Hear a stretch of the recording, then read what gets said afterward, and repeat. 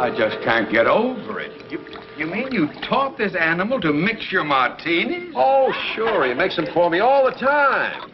Well, that's wonderful. Not really. He usually puts in too much vermouth. Okay. No, no, no.